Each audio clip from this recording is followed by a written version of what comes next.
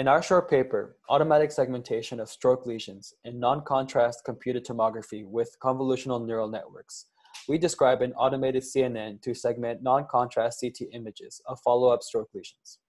Our trained model generalized well to an out-of-distribution test set, and lesion volume estimates were in excellent agreement with expert raters.